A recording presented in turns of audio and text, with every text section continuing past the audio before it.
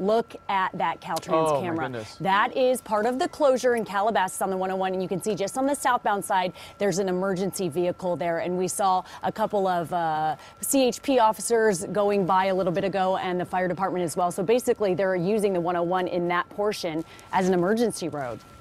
It almost looks like it's snowing out there, Stephanie. It really does. It really. It, it's ominous. It's Eerie. somber. Yeah. It's sad. It's very sad. It, Oh.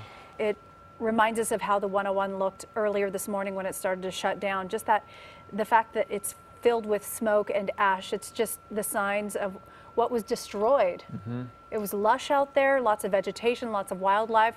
We've seen wildlife running away. We see emergency crews. That's the only vehicles on the ground that we see Yeah, you passing can. through. Yep, you can see them right now. Mm. They're coming with their lights on.